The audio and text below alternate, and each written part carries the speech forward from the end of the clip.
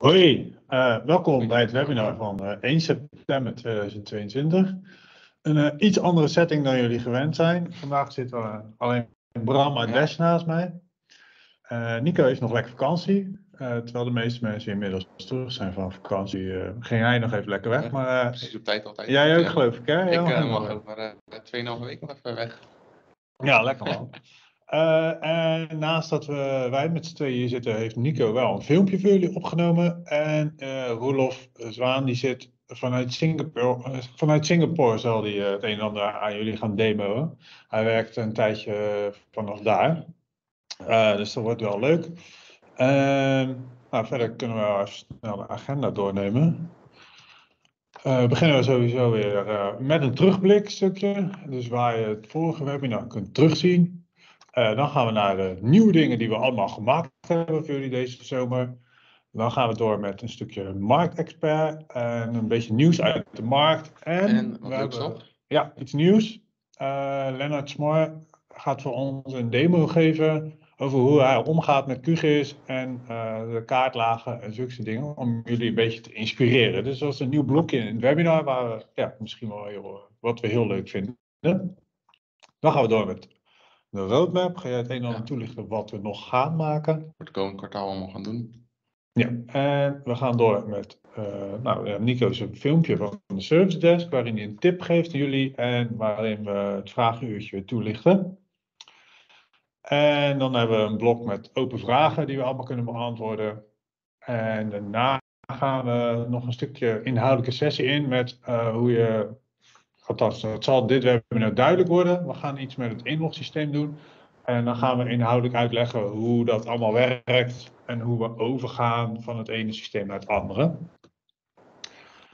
Uh, terugblik. Nou, uh, staat uiteraard het vorige YouTube, of op het vorige webinar staat op YouTube. En ja, die kun je altijd terugkijken. dus daar kun je deze dadelijk, dit webinar kun je dus ook eventueel terugzien. Of kun je een tip geven aan een collega dat hij daar nog terug kan kijken. Uh, dan gaan we gewoon lekker door met, de nieuwe dingen. Naast dat we trouwens nog wel polls hebben, uh, die gaan we ook gewoon erin doen. Dus uh, dat, net als vorige keer eh, kunnen we die netjes weer aanzetten. Uh, Roelof. Ja. Zou jij ons de korte updates kunnen uitleggen die we aan TerraNX toegevoegd hebben de afgelopen periode? Ja, um, nou allereerst hebben we natuurlijk weer wat nieuwe velden en codes um, toegevoegd. Die zijn uh, ja. nou, zoals altijd ook in te zien op de release notes. Uh, ik zal even in de chat um, een link plaatsen waarmee je die kan zien. Maar uh, welke ik even extra wou toelichten was dat er bijvoorbeeld drie nieuwe velden zijn op sublocatie. Die kan je gebruiken om speciale of invasieve vegetatie aan te geven. Zoals bijvoorbeeld de Japanse duizendknoop. Dat is iets dat uh, in België onlangs um, verplicht is geworden. Nou, een ander veld is um, veld voor het percentage aan gezeefd materiaal van een uh, asbestinspectiegat. Dat is op meetpuntniveau. Een veld om de waterdiepte te beschrijven bij waterbodemonderzoek. Meestal als je uh, waterbodemonderzoek doet, dan uh, kan je de eerste laag gebruiken om de hoeveelheid water aan te geven. Alleen als je aan de BRO wil leveren, dan um, accepteren ze dat niet, omdat de beschrijving officieel pas begint bij de waterbodem. Dus kan je dit veld gebruiken om te zeggen van, uh, nou, er zit 50 centimeter uh, water boven de waterbodem op het moment van het beschrijven. Dus dan kan je dat alsnog aangeven. Daarna hebben we een, ja. um, een veld op laag niveau voor het geschatte uh, massapercentage van BZB. Zoals jullie, jullie weten, als het meer dan 50% is, dan geldt het officieel niet als bodem. Um, dus nou ja, dan kan je een schatting daaraan uh, weergeven. En op laag niveau ook een veld, een ja-nee veld, of het um, laag asbest verdacht is of niet. Uh, deze komt uh, ook voor aan verscherpte regels voor asbestonderzoek uit België. Er zijn daarnaast natuurlijk ook nog een hoop nieuwe codes toegevoegd. Die zijn op de release notes allemaal terug te vinden. Ja, dus dat, dat is het voor de nieuwe velden en codes. Uh, nou, daarnaast hebben we natuurlijk ook niet stilgezeten. Um, er zijn wat synchronisatiebugs opgelost. Uh, een bug met uh, lagen en trajecten, um, die vervelend was voor enkele gebruikers. Nou, dat zou nu allemaal opgelost moeten zijn. We hebben ook weer wat performance updates uitgevoerd. Onder andere gaan waterbodemtoetsingen nu een heel stuk sneller. Ik geloof, ik, ik hoorde Robin opscheppen met iets van 1 seconde per watermonster. Ja, klopt. Ja. ja. Ook uh, gaan in de synchronisatie nu foto's via een eigen uh, service, waardoor het uh, nou, in ieder geval een stuk sneller zou moeten zijn en ook performance problemen in de middag een stuk zou moeten verlichten. We zijn het nog steeds actief aan het monitoren en we zien wel dat um, de serverdruk een stuk lager is op de normaal drukke momenten. Dus wij vinden dat positief. We hopen dat jullie dat ook zo ervaren. Nou, laatste dingetje is een, nieuwe, nieuwe feature. Uh, zijn uh, nou ja, topen tijdreiskaartlagen voor België. Dus die, die zijn een tijdje terug al voor Nederland toegevoegd. En um, die zijn nu ook voor België aanwezig. Dus die kan je nu ook in het onderzoek gebruiken om terug in de tijd te gaan. En te kijken wat er op jouw onderzoekslocatie aanwezig was in een bepaald jaartal. Ja, dankjewel Rolf. Een flinke lijst. Uh, uiteraard zijn wij benieuwd wat, uh, welk, hoe, ze, hoe deze updates ontvangen zijn. Dus ik ga even een, poll starten voor iedereen. En dan kun je aangeven hoe blij jij bent met de updates die we doorgevoerd hebben. Dus hoeveel jij daaraan hebt.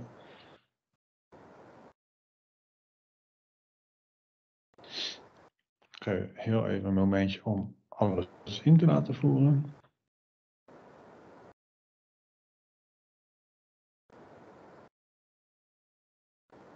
Dan gaan we langzaamaan door met het volgende onderwerp. Uh, de toetsingen op basis van de gestandaardiseerde waarden. Roelof, die heb jij ook als het goed is voorbereid. Ja, dat klopt. Um, ik zal um, mijn scherm even delen om uh, de demo te laten zien. Ik wou nog heel even terugkomen op um, die wiki met die release notes. Want sommige uh, van onze gebruikers die vragen wel eens van, ja, hoe kom ik dan bij die wiki? Uh, die is ook heel makkelijk vanuit Terra Index bereikbaar. Als ik op dit menuutje klik, en uh, dan heb ik hier de Terrapedia knop. Dan kom ik ook bij die wiki. En dan kan ik dus die um, release notes inzien. Ja. Goed. Um, ja, voorheen um, als je een toetsing maakte, dan was het alleen maar mogelijk om, ik zal even wat analyseresultaten erbij pakken. Uh, als wij hem zelf uh, aanmaakten, was het alleen mogelijk om dat te doen op basis van de meetwaarde. Dat is de kolom die je hier ziet. Dus wat er door het lab gemeten wordt. Maar in Nederland komt er altijd een correctie overheen. Dat zijn de gestandaardiseerde bodemwaardes. En wat we nu hebben ingebouwd is dat het ook mogelijk wordt om aan deze waarden te toetsen. En dat is nou ja, verplicht voor um, veel Nederlandse toetsingen. Dus dat zal ik even laten zien. Als je um, op rapportage klikt, dan zul je zien dat onder het kopje um, Nederlandse wetgeving zijn er een aantal nieuwe toetsingen. Onder andere uh, bijvoorbeeld uh, PFAS-toetsing op landbodem. Er zijn drie INEF-toetsingen. En um, nou, een CROW-toetsing uh, voor grond en grondwater. Dit zijn nog, um, daar willen we nog nettere rapportages van maken. Um, ik zal het even met de CROW laten zien. als ik nou, een rapport genereer, dan um, nou, worden de gegevens, de GSSD rekenen we niet zelf uit. Die worden door Botova uitgerekend. En wij gebruiken die waardes dan om uh, een toetsing mee te doen. Dus um, ik haal nu de resultaten even op. Zo. Uh, nou, dan zie je hier bijvoorbeeld een tussenwaarde en interventiewaarde voor niet-vluchtige stoffen. En een SRC en 100% SRC-waarde voor de um, sorry, voor, uh, voor de vluchtige stoffen en de SSC en 100% SSC-waarde voor niet-vluchtige stoffen. Um, nou, en dan zie je dat ik hier bijvoorbeeld een uh, overschrijding heb van de tussenwaarde van uh, minerale olie. Um, er wordt nog niet een veiligheidsklasse in deze toetsing gegeven. Maar um, nou ja, deze en andere GSSD-toetsingen kunnen wij nu inbouwen in Terra Index. Dus um, mocht er een toetsing zijn die jullie veel gebruiken, of die jullie nog handmatig in Excel intoetsen of iets, um, nou, dan willen wij daar graag informatie over ontvangen. Dus dat kun je dan opsturen naar uh, eh. En dan kunnen we kijken of we die toetsing misschien uh, kunnen inbouwen. Of...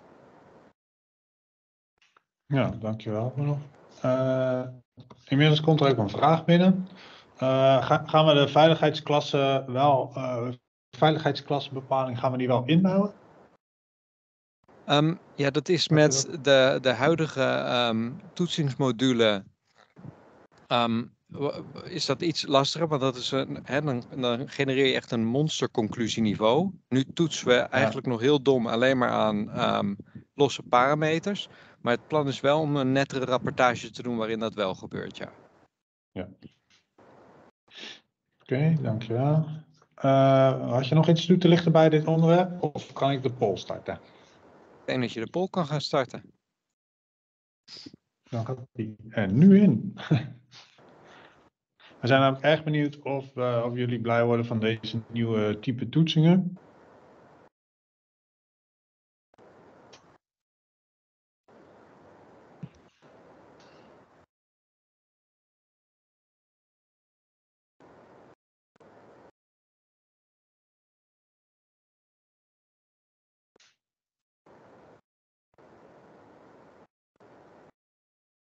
Oké, volgens mij wordt Ja. Ros wel blij van deze nieuwe toetsingen, dus daar eh, zijn wij ook blij mee. Ehm, nou, dan gaan we door met het volgende onderwerp. En dat Ja. gaat over de invoer van de analyseresultaten. Voorheen kon je eigenlijk alleen labgegevens importeren, maar Bram? We hebben nu eh, ook eh, ingebouwd dat je zelf je toetsresultaten kan invullen ter index. Dus ik open even een demofrekje erbij. Dan gaan we naar het tabelweergave. Nou, Roelof zat net in de analyseresultaten tabel. En onder is een knop bijgekomen, de handmatige invoer. Dan open ik hierbij en dan zie je ehm, nou, de monsters, stoffen en resultaten. Ehm, de allereerste keer dat je deze pagina inkomt, zal hij iets langer over doen met laden omdat hij alle stoffen die beschikbaar zijn ter index gaat ophalen en lokaal gaat opslaan. Dus dat is de allereerste keer en in principe daarna is het zolang je niet uitlogt of, of je browser sluit, zal die binnen nou, zo snel laten als je nu bij mij zag. Nou, wat we hier hebben is eh, de monsters die in je eh, project zitten. Dit zijn Ja. monsters die je in je labkrachtmodule aanmaakt. Nou, zoals de stoffen en de resultaten die erbij horen. Nou, stel voor MA1 wil ik een nieuwe is de korrelfractie om een of andere reden. eh, er zijn er ook resultaten binnengekomen. Dan kan ik op een plusje drukken. En dan zie je dat die is toegevoegd en dat ik mijn eh, gegevens ervoor kan invullen. Nou, soms heb je wel eens dat je voor meerdere monsters dezelfde gegevens moet gaan invullen. En om dat wat makkelijker te maken hebben we een overneemknop toegevoegd. Dus ik heb hier MM01, heeft nog geen resultaten. Ja. Dan klik ik op het eh ja, dupliceerknopje rechtsbovenin bij eh, de tabel. En dan kies ik mijn eh, MA1 die al wel stof heeft. Dan ga ik op overnemen en dan worden alle stoffen die gekoppeld zijn aan MA1 ook overgenomen in Ja. mijn resultaten. Let wel, we laten alle eh, waarden die je kan invullen leeg, want in principe is het alleen maar de bedoeling dat je stoffen koppelt en niet resultaten overneemt. Ja. Als de stof al in je monster zit, dan zal die niet worden overgenomen. Eh, en zul je resultaten dus ook niet worden eh, overschreven. Wat we hebben ingebouwd is dat eh, om een beetje veiligheid in te trekken, loggen we of houden we bij of er aanpassingen zijn gedaan in de resultaten en alles. Dat, eh, we gaan niet vanuit, maar mocht er iets aan gebeuren, dan kunnen we dat altijd controleren. En voor de rest zitten er standaard tabeldingen in, dus je kan groeperen op je stoffengroepen, makkelijker te zoeken. Je kan eh, sorteren op naam, al die, eh, al die dingen. En je kan hier ook eventueel een resultaat verwijderen en eh, zoeken in je tabel. Dus dat is dat voor het handmatige invoer analyseresultaten. Dus in de tabel invoer onder het knopje onder analyseresultaten, Ja. handmatige invoer. Klinkt handig. Ik ben benieuwd eh, of daar al een beetje gebruik van gemaakt is. eh, of dat iemand eh, zeker gebruik van gaat maken. Dus ook hiervoor ga ik de poll starten.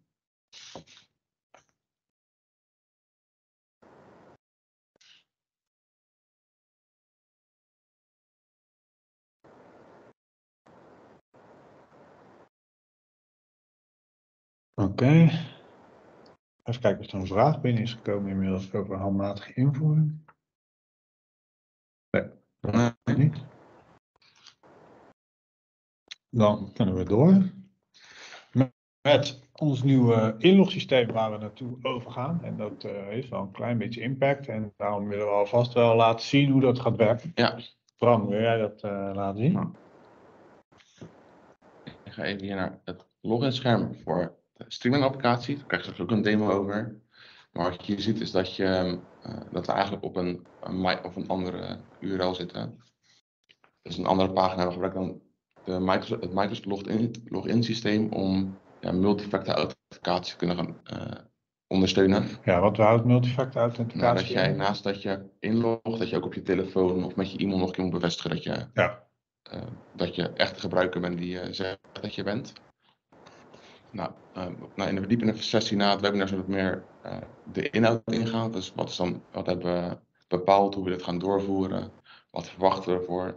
Ja, wat het betekent voor jullie en hoe, hoe we overgaan. Ja. Dus dat zo in de inhoudelijke sessie laten zien. Maar hier heb je alvast even boek. Dus we gaan naar uh, e-mailadres en wachtwoord inloggen. Daar gaan we op over. En je kan hier ook straks je account gaan registreren als je een nieuw account aanmaakt. En zie je ook wel de cent verificatiecode knop. Ja. Dus dat is al nou, het eerste stapje van uh, multifactor authenticatie. Ja. En verwachten we komende maand uh, op te leveren. Ja. En uh, verwacht je natuurlijk, waarom zetten jullie niet ons standaard gewoon over? Ja. maar ja, als het veilig is, dan kunnen wij niet zomaar bij de gegevens. uh, en dan kunnen we niet zomaar voor jullie die gegevens aanmaken. zeker niet als het om verificatiecodes gaat en zulke dingen. dus vandaar dat je dan of opnieuw moet registreren. En we gaan nog even kijken, zoals je ook ziet met die partner nog in, gaan we kijken naar wat de mogelijkheden zijn om dat jullie eigen bedrijfs Office 365 gebruikt wordt. Zodat jullie systeembeheerders, als jullie bijvoorbeeld uitgezet worden in jullie omgeving, of jullie systeembeheerders van jullie bedrijf vinden dat jullie minimaal een uh, sms moeten krijgen en nog een e-mail, bij spreken, en dat dat allemaal geregeld wordt op basis van de regels die jullie zelf bepalen. Alleen dan moeten we nog wel even kijken hoe we dat makkelijker kunnen maken. Want er moet nog wel iets voor ingesteld worden. En dat is tot nu toe wel veel handwerk. Ja. Maar inderdaad, dat, gewoon dat het uh, gebruiksbeheer naar jullie eigen bedrijf gaat en niet meer ons beheerd wordt. Ja. Uh, dan ga ik uh, Paul starten met wat jullie eerste indruk is tot nu toe. Of hoe, ja, wat, hoe blij je daarvan wordt. En dit keer mag je wat vrije teksten inplaatsen. Uh,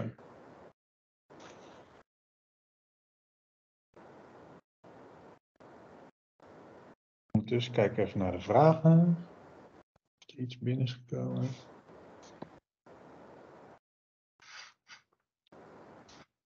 Nee, er zijn nog geen vragen binnen. Mocht je vragen hebben, dan uh, mag je uiteraard die plaatsen in de chat.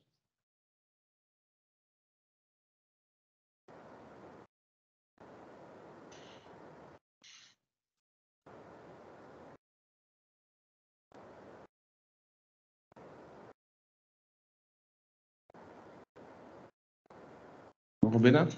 Ja, sommige zijn uh, zeggen, ja, misschien wordt het wel een beetje uh, nodeloos ingewikkeld ervan.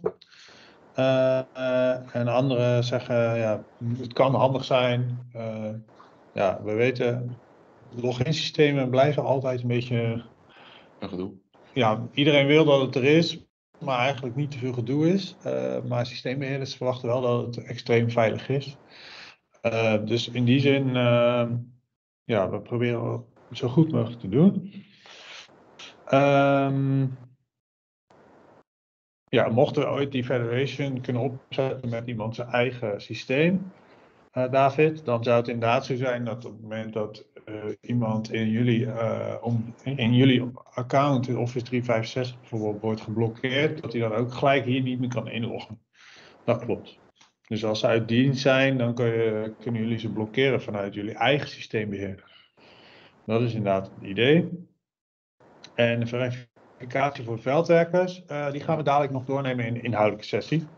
Uh, dat zal net iets anders gaan werken.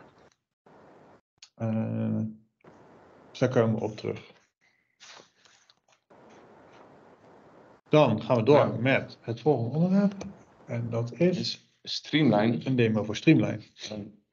nou, ik heb ook even naar het nieuwe inlogsysteem. Nou, het is de stap om uh, het door te voeren heeft ook te maken met uh, het uitrollen van Streamline. omdat we daar op het nieuwe inlogsysteem zitten. En dus gebruikers hun trainingsaccount moeten gekoppeld zijn aan een e-mailadres met een ja, wat technische dingen op de achtergrond eraan. Ehm, gaan we ook het nieuwe login systeem doorvoeren. Uh, en hier zie je drie projecten die ik beschikbaar heb. Dat zijn mijn, kijk, de geplinde projecten die hier staan. Dus als je een project pint, dan wordt die, uh, en je synchroniseert, dan wordt die in je streamline-omgeving gekoppeld. Even een project erbij. Dus hier dat ik uh, project deellocatie meetobjecten heb. Um, en dan pak ik even een meetpunt erbij. En dan zie je dat ik hier alleen maar laag in afwerking heb. Ja. Dingen van um, uh, filter, watermonsters, dat uh, is op template niveau ingesteld dat je dat niet ziet, omdat we nu een. Oh, nee, niet de backup. Ah, ik pak hem zo even bij. Uh, op het geotechnische onderzoeksrapport zitten. Ja. Um, dus op basis van uh, die gegevens kunnen we dingen aanpassen. Maar stel ik zet hier mijn objecttype naar een gat. Dan zie je dat de velden voor um, hier, geotechnische informatie erbij komen. Van, uh, op, uh, oh, dat is mijn fout. Of het, Oh. uh, ja, ik, was, ik heb een. Maar daar komen er velden bij. Dat zal ik straks in het milieu-template even anders laten zien. Ja. Um, laten we dat gewoon meteen even doen. Ik wil hier naar het milieutechnisch template. Gaan we hetzelfde project en zie je dat het schermpje even updaten omdat andere, andere gegevens getoond kunnen worden. Uh, dan gaan we naar meetobjecten, dan pakken we het gat erbij. En dan zie je nu dat de afmetingvelden erbij komen. Ja, de lengte en breedte. Ja, omdat het type is aangepast. En als je deze past aanpast naar iets anders. naar boring aan, dan verdwijnen ja. die velden. Oh, zodat je wat iets naar meer- boven scrollen. Ja, dan zie je dus alleen de diepte. Ja. Iets naar beneden. daar stonden de lengte en de breedte. En daar staat nu alleen nog maar de diepte. Zoals je ziet zien zijn ook hier eh, de filters en maatmonsters bijgekomen, omdat je dat bij een milieuonderzoek wel hebt. Ehm, en we kunnen nu, dus doordat we gegevens kunnen aanzetten op basis van het temp of het schabloon wat je kiest en welke velden je kiest, kunnen gebruikers wat meer door de hand meenemen in hoe ze velden moeten invullen. Dus stel Ja. je hebt nieuwe veldwerkers, dan kan je ze aan de, gewoon een volgorde gaan aanleren hoe ze veel eh, gegevens moeten gaan omschrijven. Nou, voor nu hebben we nog even eh, beheren wij de schablonen nog, de eerste versies, omdat we zien dat heel veel gebruikers het standaard Terra schabloon gebruiken. Ongeveer 80% van de projecten die erin staat gebruikt gewoon het schabloon dat wij al een keertje hebben opgezet. Ja. Ehm, dan gaan we even naar grondmonster toe. En, en wat zal handig gaan dat wij dat gaan eh, beheren dan? Ehm, dan kunnen we ja, wat meer eh, overzicht bieden dat het niet een, een wildstroom is aan schablonen, maar ook we kunnen de normen en processen bijhouden. Dus nieuwe Ja. velden die je toevoegen, die verdwijnen nu vaak in een bak en mensen weten, eh, behalve als bij het webinar noemen, niet heel snel of er nieuwe velden bij zijn gekomen. En als ze bij zijn gekomen, dan worden ze niet gebruikt. Of eh, bedrijven die überhaupt niet weten dat we zijn eigen schabloon kunnen maken en kunnen instellen. Ja. Dus daarvoor gaan we het in het begin even doen. Ja. Nou, eh, op de huidige uh, Windows-applicatie, een van de meest gevraagde ehm, onderdelen is het ook met de camera kunnen scannen van de barcode. Nou, ik zit nu in mijn webbrowser, maar je kan, ook, je kan de applicatie ook downloaden, zodat die als een app geïnstalleerd wordt. Ik had hem vanaf mijn telefoon willen demoen, maar dat werkt niet lekker met, Met eh, webinar. met het webinar samen. Maar hij kan ook op een Android-telefoon al gebruikt worden. Mag ik een barcode scannen, start de camera. Dan heb ik hier voor mijn camera liggen. En dan scan ik even deze in beeld. En dan zie je dat hij de barcode van het, eh, het pakje heeft overgenomen. Ja. Dus zo, eh, eh, nou, dat, dat kan je dan ook doen. En er zijn wat meer handigheidjes en dingetjes die je ermee kan doen. De eerste versie zal alleen mobiel zijn en zo ongeveer tegelijkertijd. ehm, en dan, je kan hem op je tablet gebruiken, alleen is hij nog niet helemaal voor optimaal gebruikt. Ja, nou er komt inmiddels ook een vraag binnen van Evelien Nijs. Waarom eh, zou ik dat Streamline systeem in plaats van Terinix gebruiken? Het Streamline is in principe nu bedacht om ook mobiel te kunnen ondersteunen. Er komen best veel vragen binnen om ook mobiel te kunnen ondersteunen. Eh, het tweede systeem is dat we hebben nog eens opnieuw gekeken naar hoe gaan we dan om met schablonen. Nou, we zien dat onderhoud op schablonen bij jullie als gebruikers lastig is. En daardoor hebben we inderdaad die templates bedacht, bijvoorbeeld voor geotechniek eh, of voor milieu. En je hebt met protocollen te maken. Dus als we nou iets slimmer kunnen switchen. Oké, jij vult een boorpunt in. Dat betekent dat je deze gegevens wilt invullen. Eh, dan tonen we ook alleen die gegevens. Dus we kunnen veel slimmer afhankelijkheden van ingevoerde data voor jullie klaarzetten. Maar we beginnen dus dan ook voor een mobiel apparaat. En daarna gaan we het uitbreiden naar een tablet en eventueel ook naar, voor, de, voor kantoor. Maar dat is wel een meerjarenplan. Ja. Um, nu eigenlijk bedoeld om het veldwerk te vervangen, omdat de, ja. de applicatie gewoon um, ja, zijn levensduur voorbij begint te raken ervan. Ja, dus we zijn langzaam de tablet gaan we hiermee vervangen. Maar het belangrijkste is nu dat we eerst mobiel apparaten gaan ondersteunen. En dus eigenlijk ook Android, waar ook veel vraag ja. is. Um, ga ik even een poll starten? Of als je nog iets toe te lichten? Nee, dat is dan. Ja, de vraag is dus ook, uh, als we onder andere uh, een mobiele app ervan maken met meer afhankelijkheden, meer controle, meer hulp in welke velden wat voer je waar in. Uh, ja, zien jullie daar handigheid, zien, zien jullie dat ook als verbetering?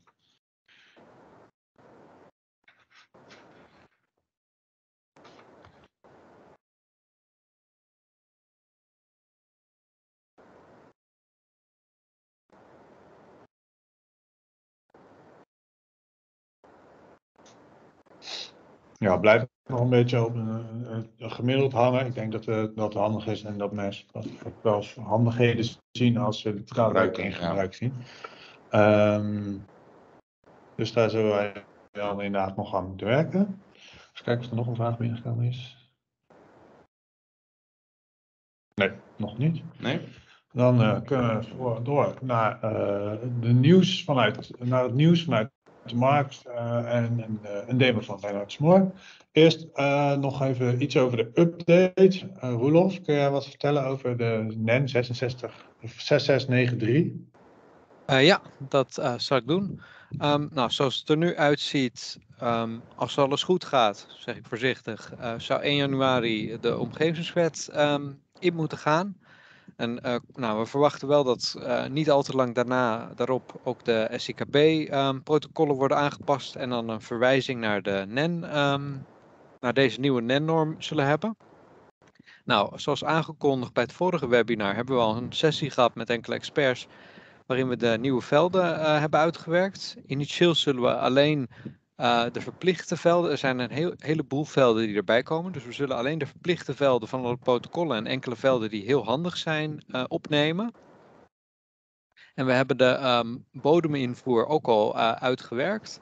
Die van de app die zal grotendeels hetzelfde blijven, zoals jullie gewend zijn. Ook met de afkortingen en codes, waar alleen als toevoeging dan slip um, bij zal komen. Um, met nou, de, het nieuw veld de bijbehorende rijpingsklasse voor slip. En in web willen we net zoiets doen zoals, nou, ik weet niet uh, hoeveel van jullie bekend zijn met de ISO-invoer, maar uh, dat je iets meer um, handreiking krijgt in uh, de webinvoer van bodem ook. Dus dat als ik um, zand kies bij hoofdinvoer, dat die dan ook uit komt te staan bij de gradatie en dergelijke. Dus dan gaan we de webinvoer ook iets verbeteren voor de NEN-invoer.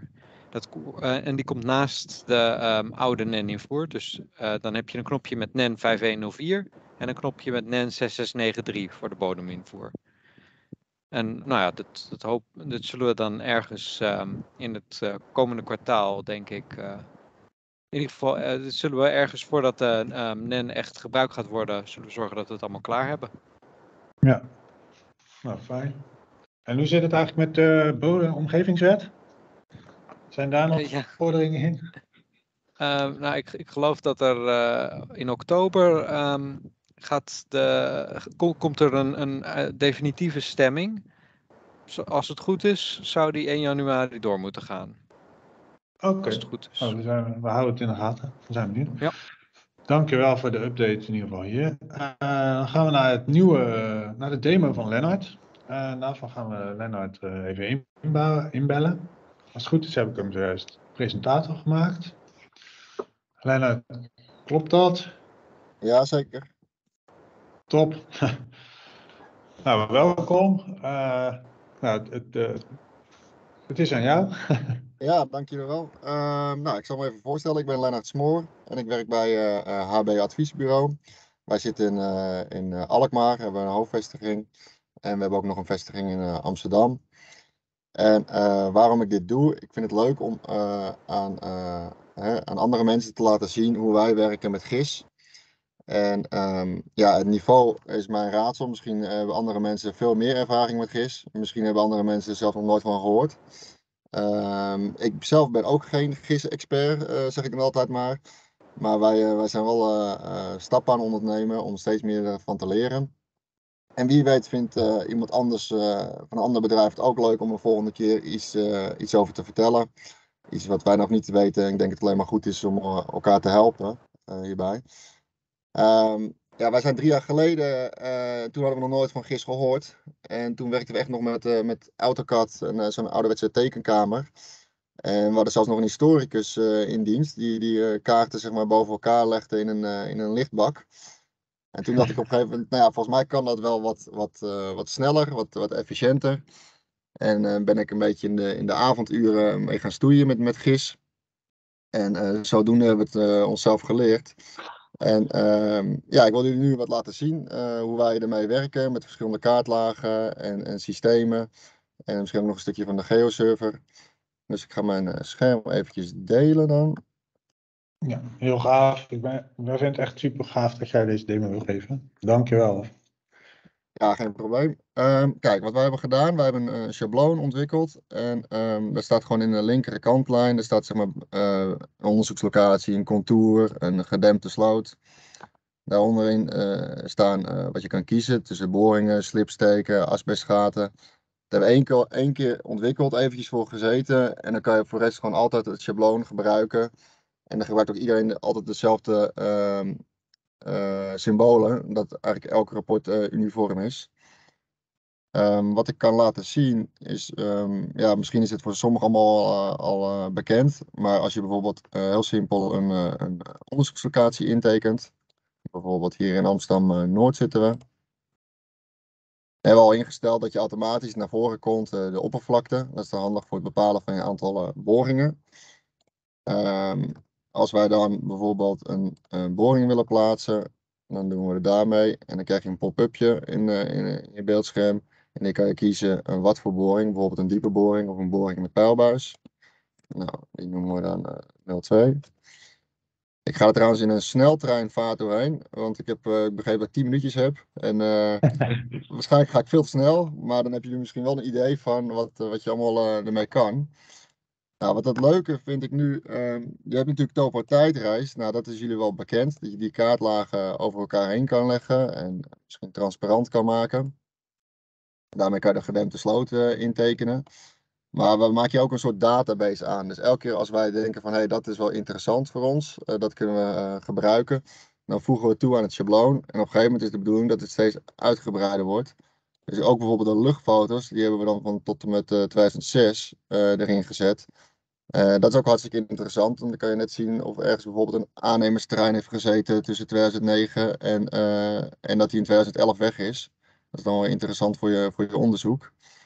Die hebben we dan ingeladen. Um, we hebben ook bijvoorbeeld hele oude kaarten van Amsterdam. Uit, uh, uit, zelfs uit 1724. Dus dan zie je hem echt nog. Die is goed in beeld. En die is dan geel gerefereerd. Die moet je één keer dan eventjes erin laden. En als je zo doorheen scrolt, dan kan je zien dus wat er helemaal in die tijd was. Nou, zo bouw je een beetje je eigen database op. Um, wat we ook gebruiken is zeg maar het, het uh, bodeminformatiesysteem, in dit geval dan voor uh, omgevingsdienst Noordzeekanaalgebied. Als je die erbij pakt, dan kan je bijvoorbeeld zien, uh, als je op onderzoeken klikt, waar er allemaal in het verleden onderzoeken zijn uitgevoerd. En dan zie je dus elk, groen uh, contourtje, daar is dan een onderzoek uitgevoerd. Dus dat is heel makkelijk. Als je dan ook daarop, daar kan je dan weer op klikken met het i'tje in, uh, in uh, GIS. En dan krijg je informatie, allemaal, al die rapporten eigenlijk. Alle informatie die erover bekend is, die komt dan hier naar voren. En dat uh, heel veel omgevingsdiensten die werken tegenwoordig dus met eigenlijk met zo'n uh, met zo'n uh, GIS-systeem. Dus ik zou gewoon een mailtje sturen naar een omgevingsdienst en vragen of zij bijvoorbeeld een link hebben, een, een WFS-link, net zoals de GeoServer. En of ze dat beschikbaar willen stellen, want het gaat, het gaat, de kwaliteit van je onderzoek gaat een stuk omhoog. En ook bodemkwaliteitskaarten staan erin. Ehm, je hoeft niet meer op een, eh, op een, eh, een pdfje helemaal in te zoomen en te kijken naar pixels. Eh, maar je kan nu haarscherp hierin in, in terugvinden. Maar ook wij, eh, ja, wij doen veel in Amsterdam, dus wij zijn ook verplicht iets met de Japanse duizendknoop te doen. Eh, die, die staan erin. eh eh, niet gesprongen, explosieve, verdacht gebied, et cetera. Nou, het leuke is om dit steeds meer eh, eh, uit te breiden. En ehm, dat je op een gegeven moment eigenlijk alleen nog maar GIS gebruikt. Dus dat je eigenlijk geen an- iets anders hoeft te raadplegen. Ehm, wat heb je nog meer wat wel leuk is om te laten zien? Je hebt ehm, hier een, eh een klik, misschien wel bekend met jullie. En dan kan je gewoon een, eh, een, klik, eh, een klikbestand toevoegen. Die zal ik even data. Ik had er al eentje klaargezet. Dat eventjes moeten laden. Dat is ook handig voor het maken van je boorplan. Dus dan weet je dat je boringen niet op een leiding kan zetten. Ik daar even op inzoom. Dit is dan toevallig in eh, Eiburg. En dan krijg je hier al eh, de klikmelding in, in beeld. En ze hebben zelfs gedaan, als zou er sprake zijn van een ijsvoorzorgsmaatregel, dat die dan ook ehm, eh, dat, dat, daarop attendeert. Kijk, deze ga ik dan weer als geselecteerde groeperen. Wat kan ik nog meer even laten zien? Eh, hier heb je een, eh, poppetje met eh, Street View. Als je daarop klikt, dan kom je meteen direct in. ik weet niet of jullie dit nu zien hoor, maar kom nu meteen in de browser terecht met, met, met Street View. Dat is ook wel makkelijk, dan hoef je ook weer minder te schakelen. Je hebt ook bepaalde handigheden in, in GIS. Als je bijvoorbeeld een, een gedempte sloot hebt getekend, en die loopt hier. En je wilt zeg maar GIS een, opdracht geven eh, van ik wil om de, om de 10 meter een, een boring hebben. Dan kan je met een, speciale plugin, dat is eigenlijk een soort app, kan je dat dan eh, aangeven. En dan zeg je bijvoorbeeld elke 10 meter een boring. En dan maakt hij zo, maakt hij in één keer een, eh, een, hele, ja, een hele rij met boringen. En dan kan je bijvoorbeeld ook denken voor hè, als je een riool gaat vervangen ergens in de straat. of kabels en leidingen, tracés. Dat hij automatisch dat, dat aangeeft. En dit kan je ook doen, zelfs met als je een, eh, ja, ik vind het een prachtig programma. Als je een onderzoekslocatie hebt getekend, dan kan je ook, eh ook GIS de opdracht geven, zeg maar, van eh, hè, ik wil in die onderzoekslocatie, dan moet ik 50 eh, puntjes hebben. En dan gaat automatisch GIS dat voor jou bepalen. Gaat hij het verdelen? Ja, dan gaat hij het automatisch verdelen voor je. En dan kan je zelf kiezen op gelijke afstand of dan op, eh, of dat het puur random is. Dus dat zijn wel, dat zijn wel leuke dingen. Ehm, wat nog ook wel leuk is om te zien. Ik merk ook dat opdrachtgevers zeg maar, steeds meer eh, eh, vragen om GIS-gegevens. Dus wat wij krijgen dan, wij krijgen dan bijvoorbeeld in dit geval krijgen we van Amsterdam krijgen we gewoon een bestandje, een geopackage. Nou, die, die sleep ik er dan in. Als ik daar eventjes naartoe zoom. Dit was nogal een gigantisch eh, onderzoek. Want dit waren allemaal eh, iets van duizend bomen in Amsterdam. En eh dan moesten wij zeg maar ehm, bepalen van wat voor, wat voor onderzoek waar moest uitgevoerd worden.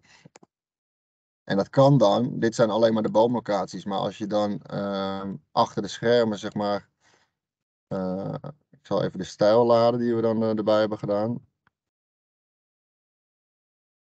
Eh, type bodemonderzoek. En dan kan ik zeg maar eh, selecteren op type uitvoeren onderzoek. Dan weet ik dat bijvoorbeeld bij, eh, bij elke boom eh, wat ik moet doen. Moet ik dan alleen een NEN-onderzoek doen of alleen een PFAS-onderzoek of een asbestonderzoek. En als je daarop selecteert, dan, dan maakt hij er eigenlijk een, meteen een kaart van. Nou, en die, Ja. in, die, in die locaties die kan ik dan weer een ter-index zetten. En zo, zodoende werken we daarmee. Je kan ook een, makkelijk een AutoCAD-bestand erin in knallen. Als jij eh, een- bijvoorbeeld een eh, exporteert naar DXF, nou je sleept hem gewoon in GIS. Dan krijgt hij waarschijnlijk nu een, een eh, pop-up krijg ik nu. En dan vraagt hij wat ik wil toevoegen. Ik wil de lagen toevoegen. En dan heb je bijvoorbeeld een hartstikke mooie ondergrond van een toekomstige woonwijk. Of, of en als ik naar ja, dit zit hij dan hier.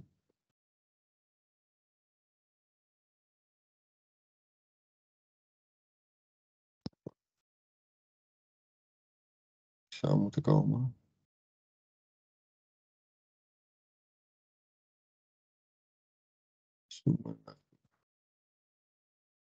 Kijk, daar zit hij. Dit is dan toevallig bij ons in de buurt, bij Alkmaar. Nu heb ik gewoon eigenlijk de, de ondergrond van eh, AutoCAD. Dit is een ontwikkeling, die gaan ze sportvelden ontwikkelen. Die heb ik dan eh, over, over GIS heen gelegd. En op basis daarvan kan je dan je, je boorplan eh, maken. Ah, ja. Wat ook leuk is om nog eh, kort te laten zien, hieronder hebben we zeg maar de standaardkaarten. Wij gebruiken nu OpenTopo, maar je hebt ook tegenwoordig gewoon een, een, een luchtfoto, HR. Die is hartstikke mooi. Dan zie je echt wel het verschil tussen, tussen asfalt, betonplaten of klinkers. En ehm, voor Amsterdam hebben we dan weer bijvoorbeeld een, een, eh, een kaart aangeleverd gekregen door hun. En die willen ze dan dat wij gebruiken. En dat is dan de kaart Amsterdam, de basiskaart. Nou, zodoende bouwen we deze ste- steeds meer uit. Maar je hebt ook gewoon de BGT die je kan gebruiken. Eh, die is jullie wel bekend misschien vanuit eh, AutoCAD. Je kan ook alleen de bebouwing aanzetten dat die accentueert. Of eh, alleen de nummers. Nou, zo eh Ja. ik heb de kadastrale kaart. Dan denk ik dat ik al een beetje ga afronden. Dan wil ik nog heel veel wat zien van de, naar de GeoServer, eh waar wij steeds meer gebruik van gaan maken, maar ook nog aan het ontdekken zijn. Ehm, Ja, dat was allemaal een beetje vooraf om je goed je plan te maken. Maar achteraf kan je natuurlijk elitaire indexdata ook projecteren op de kaart nu. ja, kijk, ons doel is om zometeen helemaal eigenlijk eh, papierloos en ook ehm, eh, dat de veldwerkers niet meer naar kantoor hoeven te komen om, eh, om spullen terug te brengen of iets uit te lezen. Dus zometeen met die, met die geosurf, ik vind het wel mooi, ehm, ehm, dat het zometeen rechtstreeks gewoon met een GPS wordt dan ingemeten in het veld en het komt meteen hier zeg maar in, eh, in GIS terecht. Dus ik zie eigenlijk direct wat ze hebben gedaan die dag. En eh, eh, op basis daarvan kan je het ook presenteren aan je, aan je opdrachtgever. Ja. Maar, maar bijvoorbeeld iets simpels, hier hebben wij, hier komt een, een woonwijk. En ze willen hier riool, riool aanleggen. en daarvoor zijn veenlagen zijn daarvoor een beetje niet geschikt. Dus dan willen ze bijvoorbeeld weten waar, eh, waar veen zit. Wij hebben ook een hele infratak. Eh, en waar ik dan wel eens gebruik van maak, dan klik ik op eh rechtermuisknop. En dan ga ik, naar, ga ik hem filteren. Hier zit hij. En dan hebben wij daarvoor een, een formule bedacht. Of een, Ja. Dit is misschien jullie wel bekend. En dan komen eigenlijk alleen de, de punten naar voren waar, waar veen in zit. En dit kan je helemaal uitbreiden met, eh, je kan een tekst eh, achter laten zetten van waar die veenlagen zitten. Zitten ze van 1,50 tot 2 meter. Ja. Maar je kan hem ook eh, gebruiken voor je, je wetbodembeschermingresultaten. Dat je kijkt wat licht verontreinigd is, matig verontreinigd, sterk verontreinigd. Nou, et cetera. Dus daar zijn we, nog, daar zijn we nu mee aan de slag om dat verder te, te ontwikkelen en, en ermee bezig. Ja, gaaf. Ja, dus misschien wel een beetje snel allemaal, maar denk eh, de mogelijkheden zijn ontzettend eh, groot. En ja, misschien weten wij nog maar 10% van het hele programma. Ja. ja, precies. En dat is misschien ook wel leuk. Dat is eigenlijk ook wel gelijk een beetje een vraag van, ja, misschien dat er nog andere gebruikers zijn die nu kijken en zeggen, nou, dit was wel leuk. Ik heb zelf ook nog, eh, nou, ik heb wel aanvullende informatie of ik wil volgende keer wel een demo geven, want dat is misschien ook wel leuk ter inspiratie voor anderen, waar bijvoorbeeld Lennart dan weer wat van kan leren. Ehm, heb, je, heb je zoiets, dan mag je dat even sturen naar service.terrenix.com. En dan eh, proberen wij even te kijken wat een leuk onderwerp is. En dan volgende webinar willen we eigenlijk weer zo'n blok doen. eh, dus zodat het vast terug, terugkomend is. Dus eh nou, Lennart, super bedankt dat, je, dat je de demo wilde geven. Als iemand Ja. wil starten en die weet nog niks van GIS, mag die je dan bellen voor een, een eenmalige uitleg? Ja, zeker hoor. Ik laat mijn contactgegevens wel eventjes achter in de, in de chat. Ja. Nou, top. Eh, bedankt. Eh, eh, nou, dit webinar, er kwamen nog een paar vragen binnen. De vraag, Lennart, was wanneer je naar België verhuist. Nou, ze hebben wel lekkere speciaal biertjes daar, weet ik. Dus, ja. Verder veel bedankjes. Eh, wanneer komt hij op YouTube? Nou, dat komt in principe morgen of maandag. Dus dat staat hij, dan is terug te kijken voor je collega's. Nou, mooie demo, mooie demo. Nou, iedereen vond het heel gaaf om te zien. En wij ook. Dankjewel, ja. Lennart. Heel erg gedaan. En dan uh, gaan we door met even een poll. Die ga ik gelijk erin starten. Dat had ik eigenlijk wel even kunnen doen. Dan gaan we een beetje gas geven. Deze poll erin.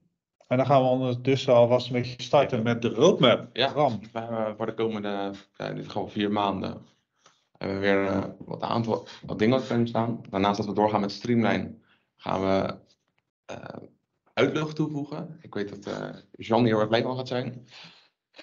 We gaan uh, uitloggen toevoegen, dus inlezen van resultaten, maar ook de toetsingen die erbij horen. We zijn nog begonnen met informatie verzamelen van verschillende bedrijven over hun veldwerkformulieren. Ja. Dus wat geven ze mee aan veldwerkers, wat moeten die invullen? Kunnen we daar misschien nog iets anders mee doen in de index, waardoor er geen papier meer hoeft worden mee, mee te worden gegeven. Um, en we gaan het over toetsingen en instellingen in uh, Terrinus Web hebben. Dus kunnen... Jean reageert al met yes. kunnen we, of we, zeg maar, nu moet je ook nog een rapport uitdraaien van Terrinix om toetsingen in te, uh, te doen. Ja. Kunnen we dat in Terrinix zelf hangen in de tabelinvoer. En we gaan de toetssymbolen die uh, over zijn gebleven van op de toetssymbolen instellen, instelbaar maken in Terrinix. Ja. Dus daar gaat het komende ja, kwartaal, vier maanden op focussen. Nou, klinkt als uh, weer een goede uitdaging voor de aankomende maanden. Um, hadden we verder nog iets op de roadmap staan? Was het voor de presentatie? Uh, dit was het voor de roadmap. Stuurman komt erbij. En dan uh, is ook een beetje een uh, doorkijkje naar de expertgroep. ja. Wat ik al zei, we hebben al verschillende bedrijven en experts benaderd over wat zij doen met hun veldwerkformulieren. Um, en dat loopt eigenlijk door naar de expertgroep die we in oktober zouden hebben. Deze gaat niet door. Ja. We gaan hem, we gaan hem verplaatsen naar volgend jaar maart. Maar in plaats daarvan gaan we voor de uh, onderwerpen de um, wat meer experts persoonlijk benaderen om erbij betrokken te zijn hoe we ja. het kunnen doen. Dus de expertgroep zoals die nu bestaat kost veel tijd, veel reistijd ook voor iedereen. Ja. Die gaan we één keer in het jaar doen en ondertussen gaan we kleinere werkgroepen samenstellen uit de experts om bepaalde onderwerpen. Ja, ja. wat we nu hebben, ik zei, de uh, formulieren. En we gaan het kwartaal doen voor de um, toetsingen ter index en de toetssymbolen. Wat we daarmee kunnen doen. Ja. Dus dat.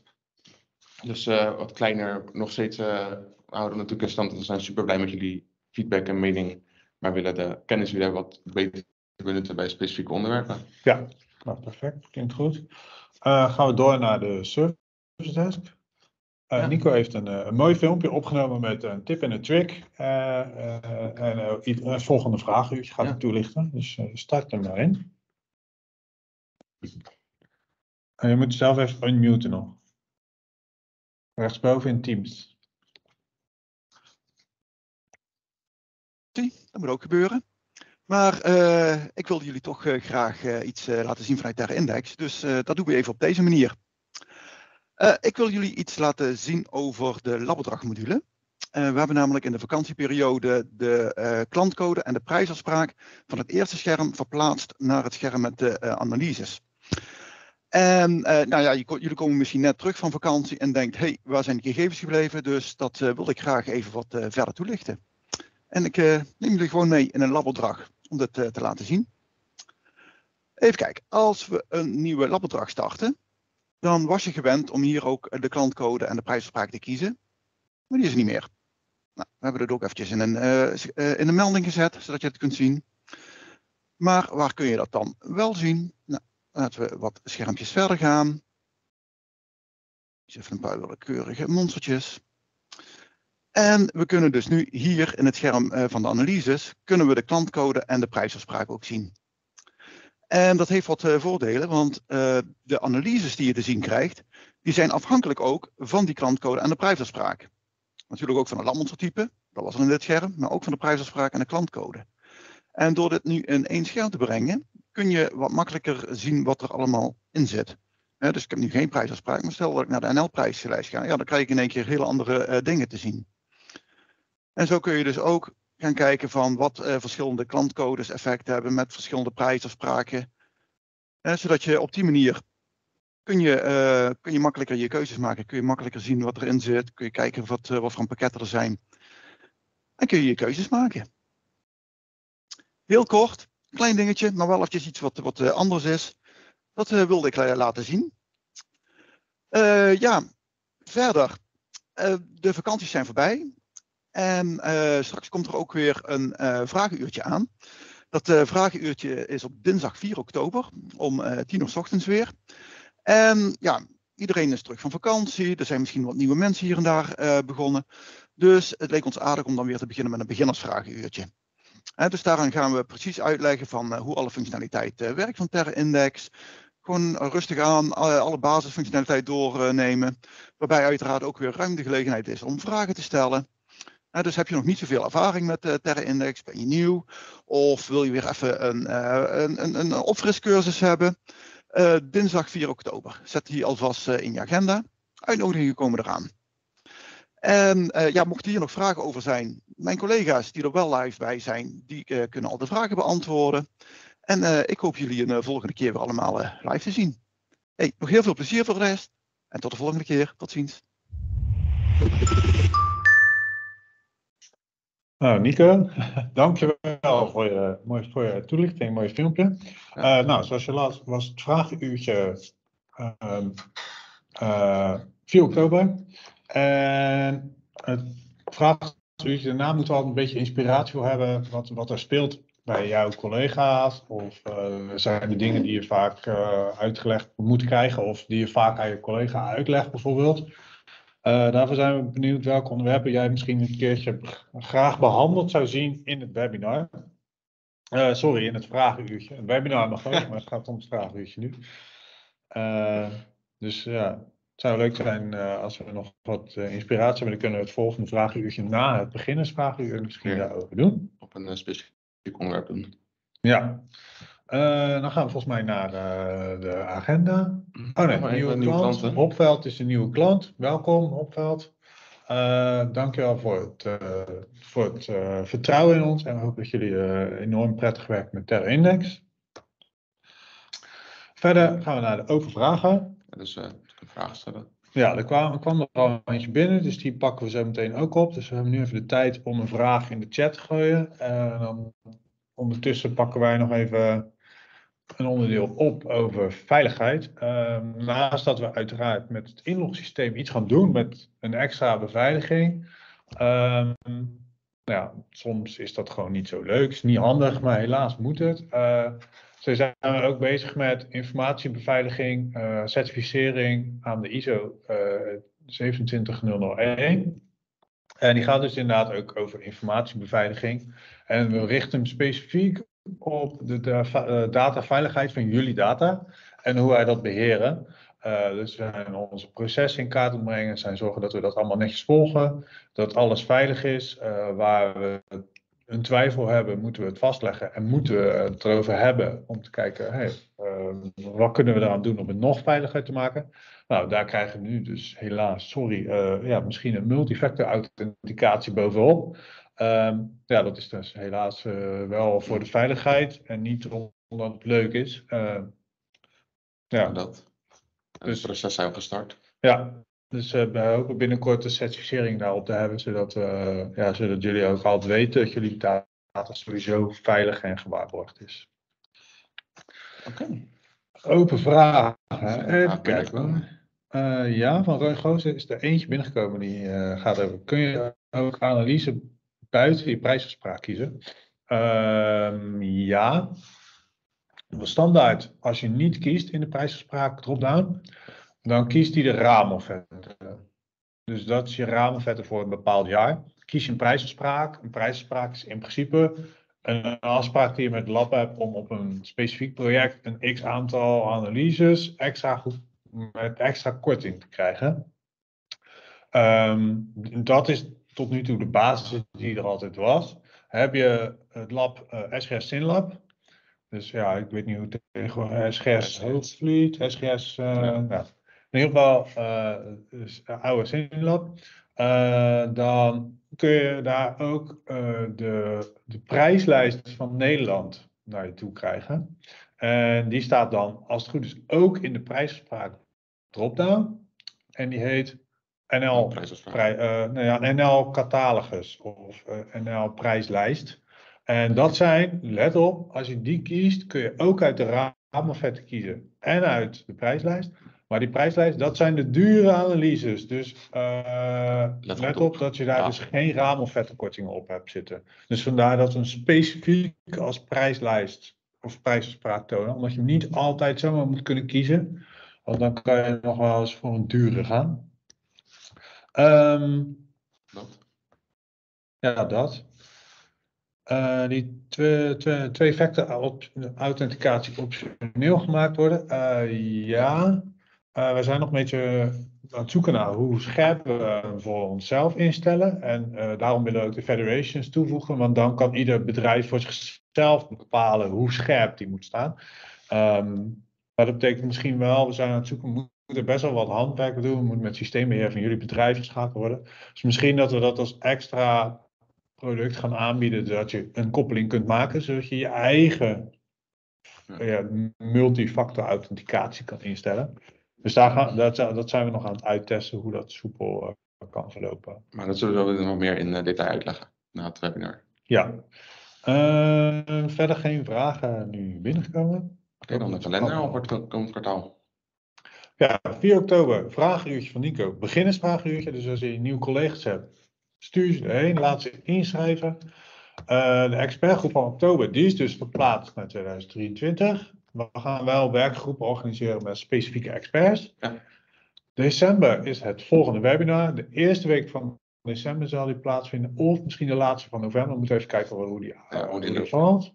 En hopelijk misschien wel of niet 1 januari een nieuwe omgevingswet. Nou, wij zijn in ieder geval helemaal ingelezen en klaar voor, dus daar kan het niet aan liggen. Dat, eh, eh, ja, dat was hem tot nu toe.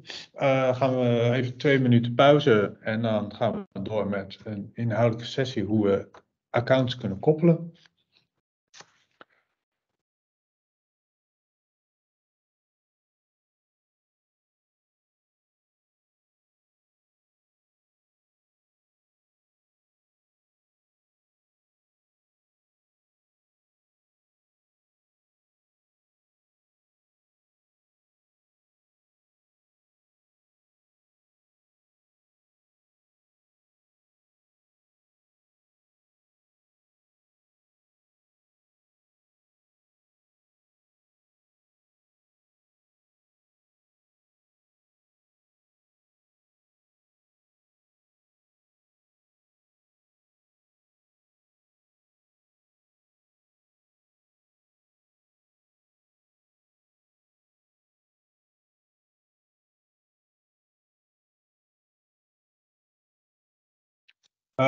Nou, we zijn er in principe klaar voor. We starten met het inhoudelijke deel.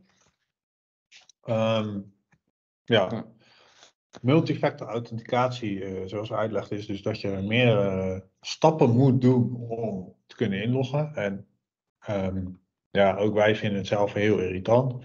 Eh, maar inmiddels hebben we met de Authenticator app van Microsoft eh, gaat dat vrij soepel. Krijg je een pushberichtje op je mobiel en dan klik ik ja, goedkeuren en dan eh, komt het helemaal goed. Ehm,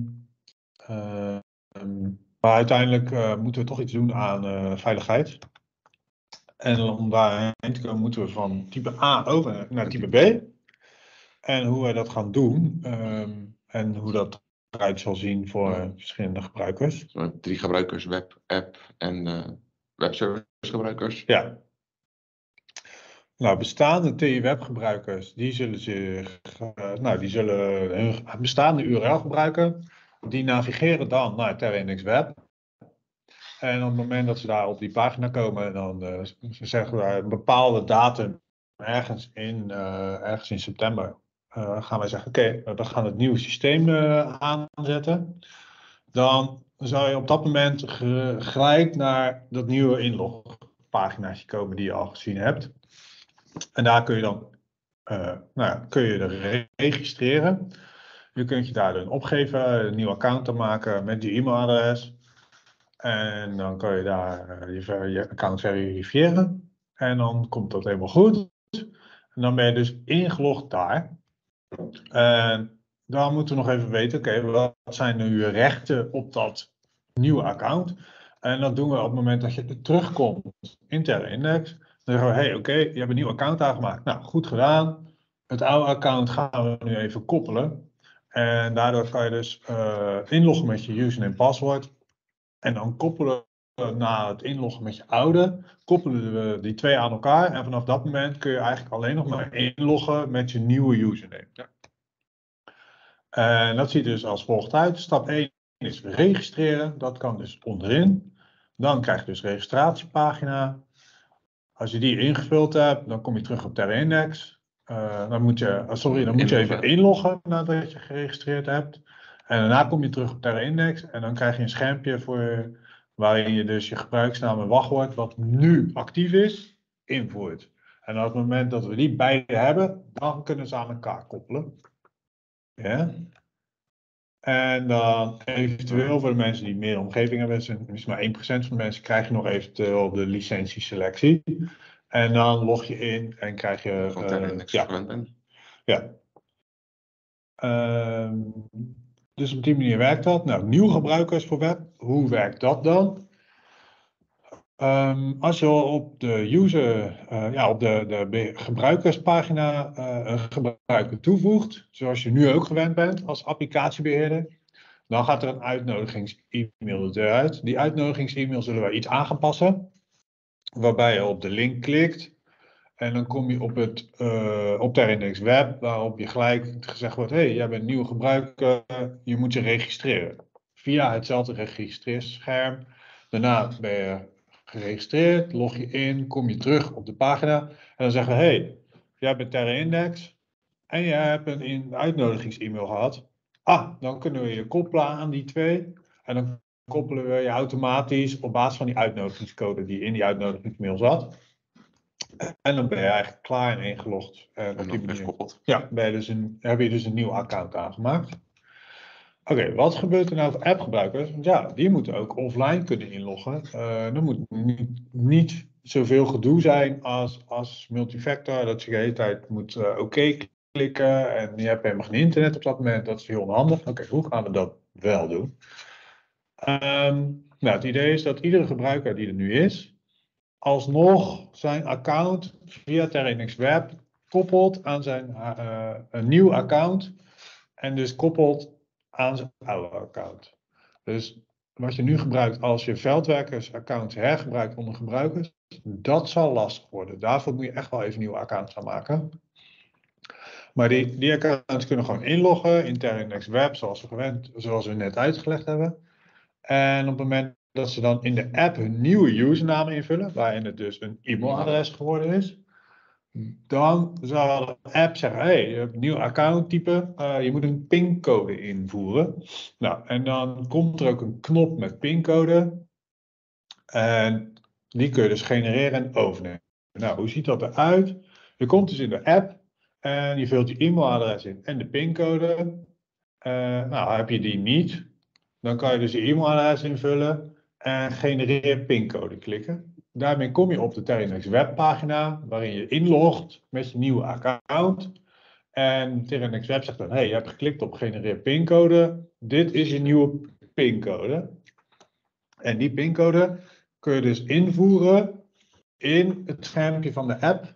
En daarmee kun je dus inloggen. En die onthoudt hij voor, uh, voor een wat langere tijd zodat je niet iedere keer opnieuw hoeft in te loggen, uh, maar dat je dus wel offline kunt werken, zoals je gewend bent eigenlijk.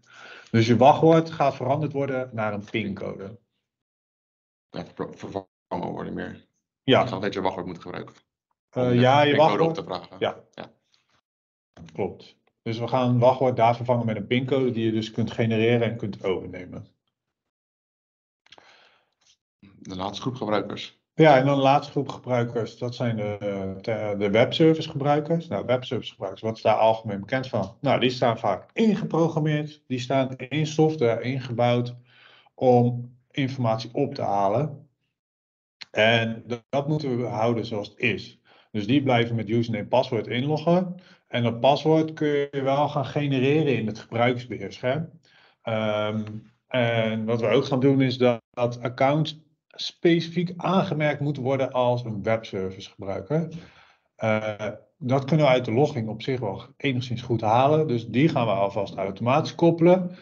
Maar heb jij een webservice account nodig, dan moeten we die gaan aanvinken als een webservice gebruiker. Want dat is eigenlijk de enige die mag inloggen met een username paswoord zoals die nu gewend is. Zonder multifactor authenticatie. En vandaar dat we daar dus ook scherpere wachtwoorden op willen gaan zetten. Vandaar dat er een paswoordgenereerknop komt in het gebruiksbeheer, zodat iedereen een paswoord kan genereren die heel streng is en lastig is. Die wordt eenmaal getoond en die moet je dan overnemen in je software. Um, en daarmee kan je dan blijven werken zoals het werkt. Uh, voor nu laten we de paswoorden erin staan zoals ze erin staan. En is het aan jullie om hem een eventueel een update te geven. Nou, wat verandert er dus in het accountbeheer? Uh, als je een account aan gaat maken, dan geef je dus geen gebruikersnaam meer op. Uh, behalve voor webservice gebruikers. Uh, dat, dat verandert dus. Ja. En wij moeten dan die instelling dat het een webservice account is. Dat kunnen ze niet zelf. Nee, kunnen ze in principe zelf, want anders kunnen ze geen wachtwoord invullen. Okay. Of geen username invullen. Uh, nou, partner logins en federation, zoals dat heet, uh, met een mooi woord in Azure. dat zijn we nog aan het uittesten. En dan wordt dus mogelijk een aparte product upgrade, omdat we daar wel een halve dag sowieso, denk ik, mee bezig zijn om dat per bedrijf in te stellen. dus dat is wel iets lastiger dan standaard overgaan. Maar het idee is dan dat iedereen met zijn e-mailadres van het werk kan inloggen. Dat hij dat herkent op basis van, hey, dit is bijvoorbeeld arcades.com. Dan ga ik de Arcades uh, inlogsystemen gebruiken. En daarvoor moeten we dus een koppeling leggen met het Arcades inlogsysteem. Dat we die accepteren, maar ook dat zij het ook accepteren. Dus aan beide kanten moeten we daar een koppeling leggen. Maar dit is pas een stap nadat het is doorgevoerd. Ja, dus we zullen in eerste instantie dit nog niet aanzetten en daarna zullen we die per bedrijf mogelijk gaan aanzetten. Ja. Oké. Ik zag dat er al een vraag in de chat binnen was gekomen. Uh, ja, dus voor web krijg je inderdaad een wachtwoord en een multifactor. Dus iets van een akkoord op je telefoon. En voor de app krijg je dus uiteindelijk een pincode die je dus kunt genereren. En bijvoorbeeld één keer in de maand, dan gaan we nog even naar zoeken hoe vaak dat pincode moet veranderen. Die pincode wordt wel pas gegenereerd als je een keertje in web bent ingelogd. Ja, dus je kan hem al pas, in, uh, pas genereren als je in web met multifactor authenticatie ingelogd bent. En dan kan je hem specifiek voor jouw account genereren. Um, zijn er verder nog vragen over? Of toevoegingen of handigheidjes? hey, misschien kan dat nog makkelijker. Ja, we, zitten, we denken nu aan maandelijks een nieuwe pincode genereren voor veldwerkers. Weet je, zoals nu de, je ook één keer in zoveel tijd moet inloggen. Ja. Of in ieder geval online moet zijn om te kunnen synchroniseren en authenticeren. Ja, dus één keer in de maand zou een veldwerker moeten inloggen op Terranix Web. Nou, dat kan via die speciale knop in de app, waarbij die gelijk een pagina opent op de goede plek. Daar moet hij dus inloggen met uh, multifactor en daar genereert hij dus een pincode. Dus hij kan vanuit de app de uh, authenticatie gewoon doen? Ja. Hij hoeft dus niet zelf een browser, een pagina in te voeren. Hij hoeft alleen maar te zeggen genereer pincode, dan komt het goed. En nog meer vragen? Ja, sorry Jan. Als je een, een, voorstel hebt waarop het handig kan, dan staan we er ook nog wel voor open. Ja, het moet alleen ergens, ja, moet je toch aan die multifactor authenticatie. Dus één keer in de maand dachten we dat is nog oké. Ja, we kunnen ook twee maanden van maken, maar dat gaat dan weer niet iedereen mee akkoord. Uh, ja, misschien kunnen we nog iets instellen dat we per klant zo een uh, aantal, aantal maanden accepteren. Maar we gaan wel proberen het zo soepel mogelijk en zo makkelijk mogelijk te maken. Bijvoorbeeld als ik nu moet inloggen op bepaalde apps, dan eh, klik ik eh, eigenlijk op inloggen. Dan staat mijn username en password eigenlijk al onthouden. Klik ik in, dan komt er op mijn telefoon een melding. Die klik ik gelijk op goedkeuren en dan ben ik er eigenlijk al in. Dus op, dat, op die manier gaat dat vrij simpel. En die pincode zal niet eh, acht cijfers worden, zeg maar, maar eerder vier of vijf, zes. Oké.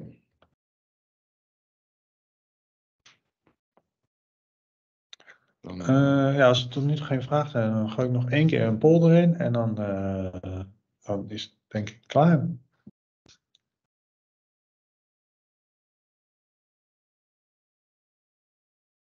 ja.